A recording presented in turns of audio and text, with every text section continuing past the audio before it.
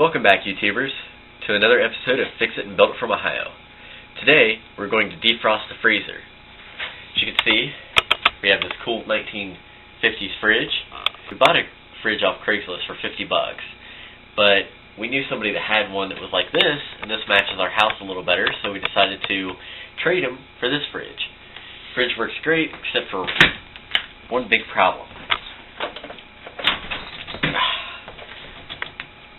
As you can see, the freezer door is stuck shut because it's frozen. Oh, it's just really not coming out of there. So we're going to have to uh, turn the fridge off to start. We're going to clean out the food, and then we're going to try and attack it with a uh, hair dryer. See if we can't get this uh, to open.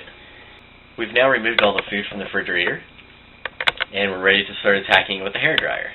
We put most of the food in our deep freezer, and in a cooler, put some ice in it to keep the food cool.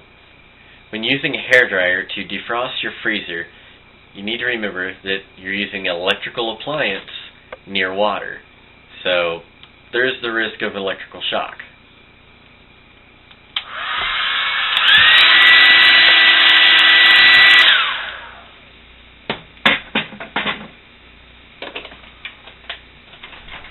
Still not yet. One thing you want to have handy is you want to have towels that you can lay on the floor so that you don't soak your floor. It's sometimes necessary to defrost the drain hole coming from the freezer that goes down down into this drip channel that then runs down to the bottom, goes to the drain in the bottom to your evaporation pan. That way the water collects and evaporates as it should. Keeping this drain clear is very, very important. Ours actually froze and froze into the drip channel. So now I'm having to defrost that. To get to your drain pan, you have to remove your kick plate from the front of your refrigerator. Sometimes it's on the front, sometimes it's on the back. Ours is on the front. All we do, just lift up on it, remove it, slide it out of the way. Here there'll be a plastic pan from the bottom. You can pull it out, and as you can see, it has caught things in it. The discoloration is from where there's been things in the water, and it's dried into the pan. Be very careful with this pan as it can become very fragile the older it is, and they're extremely hard to find to replace. Right now there's nothing in our pan, so we'll just let it collect some water and we'll empty it out into the sink as it gets water into it. We had uh, pooling of water in the bottom of the refrigerator here, and so I removed the cap to the plug and noticed that the plug was clogged, so I went ahead and unplugged the plug, and then we got plenty of water into our drain pan, which we then used one of the crisper pans to go ahead and empty it into that to dump it. Now that that problem has been solved, and we have drainage of water, we went back to defrosting the door here to get the door open. Now, we can finally get the door open. As you can see, it's really, really frozen. Now we have to remove this frost by using the hair dryer. There are several different ways you could do this. You could just leave the freezer to its own devices and let it defrost itself once you've turned off the fridge. But that tends to make a really large mess and takes a very long time. We want to get this done in the shortest amount of time possible, so we're going to apply some heat. You can also do such things as stick a box spray in front of it to speed up the process. What you do not want to do is you do not want to use any sharp objects like an ice pick or anything like that to remove this ice because you could actually puncture through the walls of the fridge itself and you could hit the Freon line and then your freezer's just completely done. Your whole fridge is done because once that Freon leaks out, the fridge will not get cold anymore. I'm going to take a quick break and let this uh, take care of itself because I just found a popsicle and I'm going to eat it. Mmm, yummy. Now, you'd probably want to use gloves for this. I worked in a grocery store for several years and uh, dealt with the freezer items, so I really don't feel much in my hands anymore, so it doesn't really bother me.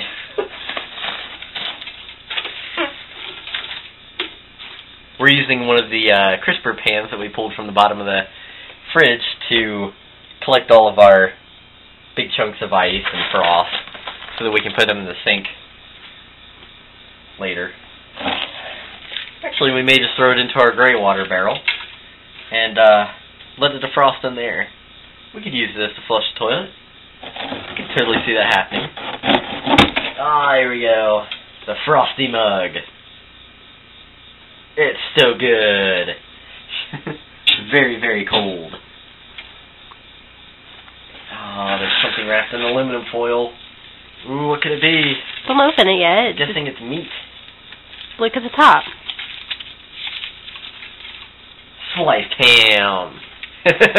Don't know if that's still going to be good or not. We'll have to uh, check the internet for the uh, rated uh, ex- expiration of sliced ham. We can at least say that's been in there at least three months. Uh, looks like we're going to have to go back to using the uh, hair dryer some more.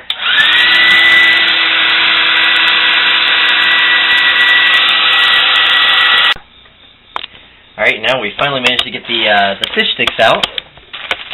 Gotta love the Gorton's Fisherman.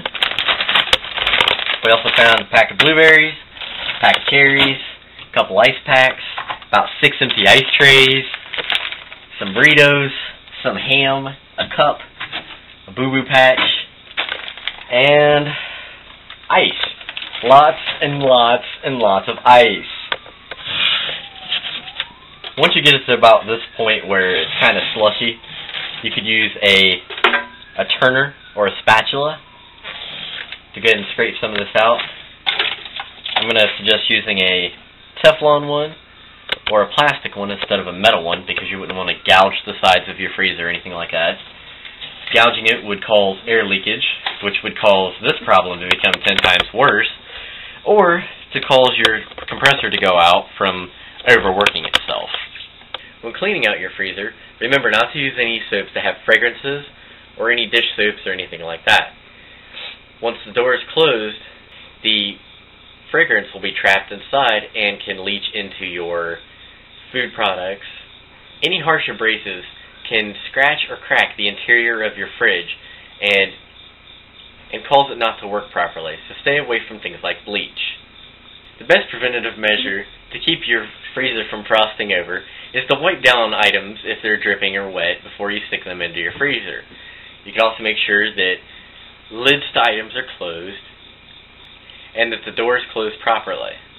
If you see any frost forming, take care of it immediately. Don't let it become a problem. Because nobody likes a frosty freezer.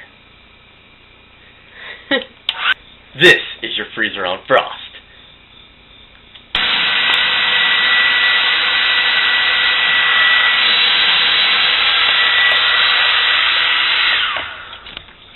That is a big piece of frost. Got it all out in one piece. Now that we've defrosted the freezer and it's completely empty, we're going to try a new thing that I've read online that works. Well, that somebody says works. I'm going to try spraying some PAM in the interior to see if that'll keep the frost from sticking to the sides as much. And when cleaning out your refrigerator and removing all the items, it's a great time to go ahead and remove all the items that are expired and that are bad. Go ahead and clean it all out. Give your fridge a good wipe down. The best uh, thing that you could use to clean your fridge with is use some warm water with two tablespoons of baking soda and you could just wipe your fridge down with that. It should clean it pretty well. Don't forget to clean under the crisper pans, remove those and clean those as well. Be careful sticking hot water on any glass in your refrigerator as the glass was cold. If it is still cold, it can crack and break, and then you have to go out and find a new piece of glass. If you like this video, please recommend it to somebody else to watch. I really need a lot of subscribers. Don't forget to click subscribe up in the box there. And uh, make sure that you rate and comment the video below. I'm trying to get a partnership with YouTube, so the more subscribers, the better. Thanks for watching. Fix It and Built It from Ohio. 100% all natural PAM, not just for the stove anymore. You can use it in your freezer to keep the frost away. Now the part about it working, I'm not quite sure if it works, but I'll get back to you on that and let you know in a future video if it really works to keep the frost away.